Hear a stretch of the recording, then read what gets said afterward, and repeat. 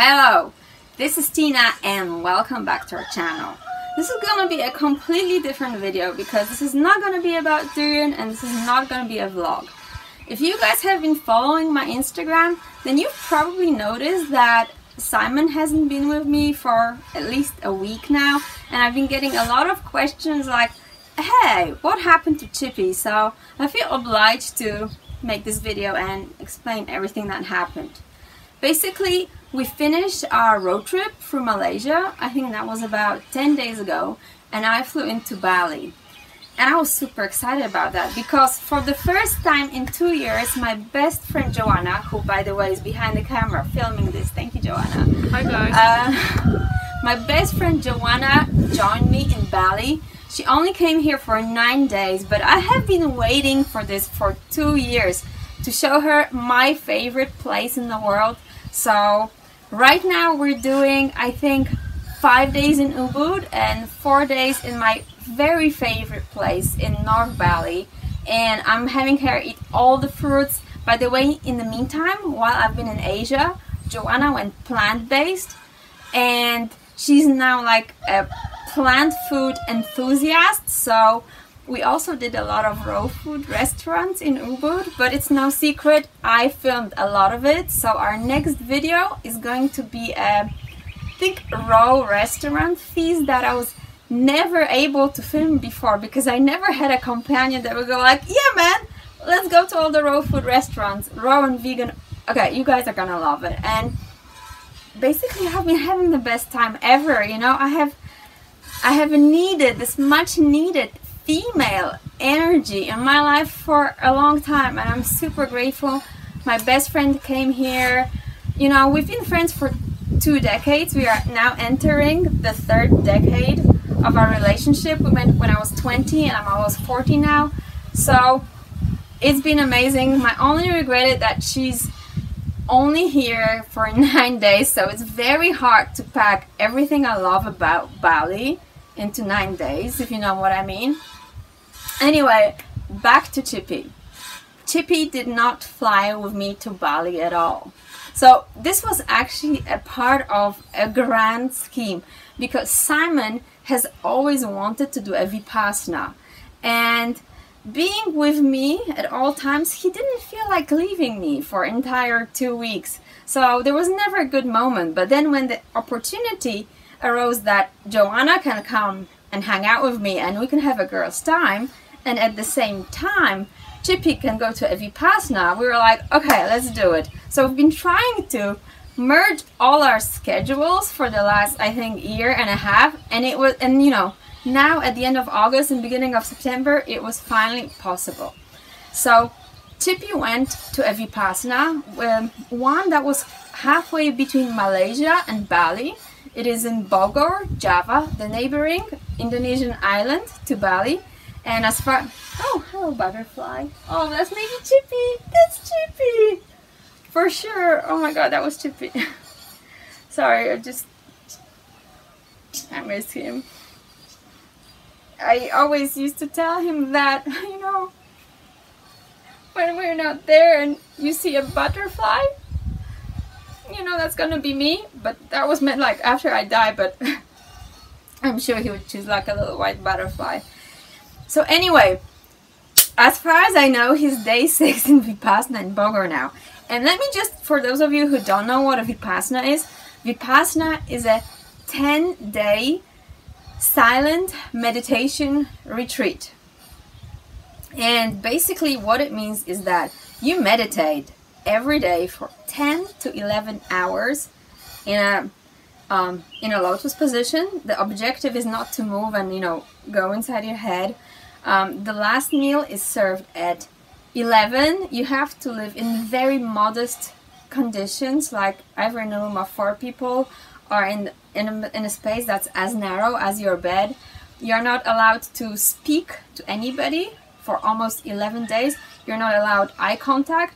They take away your passport and your phone when you arrive there.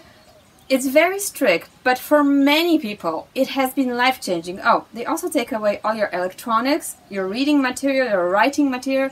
It's just basically they create um, a space where you can go inside yourself and like without all the outside noise find out who you really are i'm not to tell you it's not challenging i mean it is especially if you go into a vipassana center as a fruitarian that could be one of the biggest challenges because they serve vegan food you know one meal at 6 a.m and then another meal at 11 a.m but the availability of fruit is um, seasonal, optional, dodgy. Don't know if there's gonna be any fruit, so you can end up living on like a banana or two a day.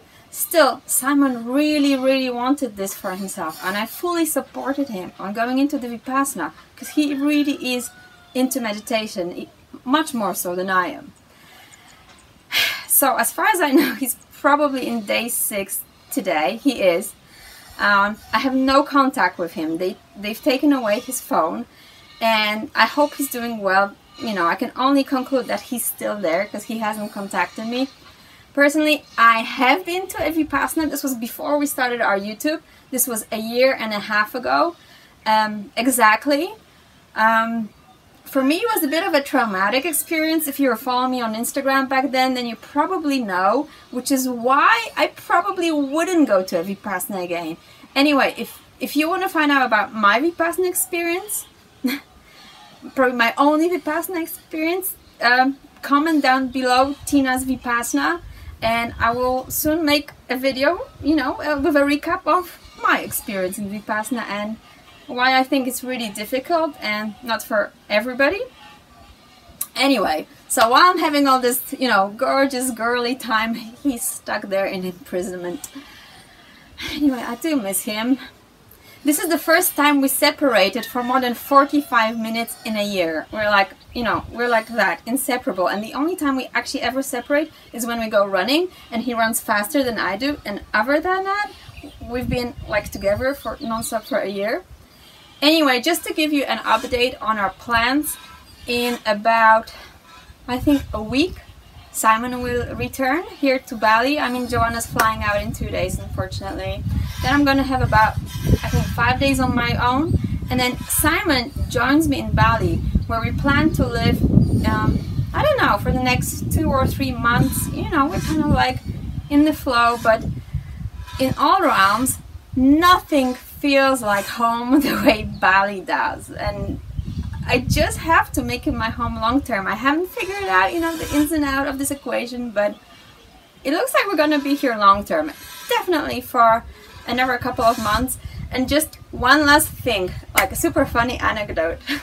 Because um, we were to come here and take a break from durian. Like, we were like, we're saturated with eating durian we're saturated with talking about durian, filming durian. We're like, you know, we're gonna take our life to a new level, eating only juicy fruits. You know, we're gonna take our YouTube to a new level, which is actually true. We're, I'm gonna start talking about other stuff. Like, I'm, there's so many videos where I'm talking to the camera, like this one, which I'm dying to put out. Okay, and here's the thing. I come to the to North Bali two days ago. I go out on my favorite walk I look at the durian trees and I'm like, oh my god. There's, the trees are loaded with durian.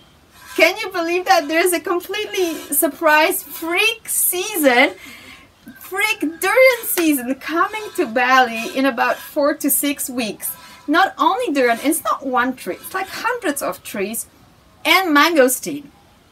So, like, looks like the durian, Eh, you know, doesn't want to let go of us. We're gonna be here in Bali in peak durian season, completely unexpected. In you know, it's just, it's gonna be all. There's already some durian in Bali, quite a lot actually, and I don't mean like you know montong from Thailand, local durian, but mangosteen.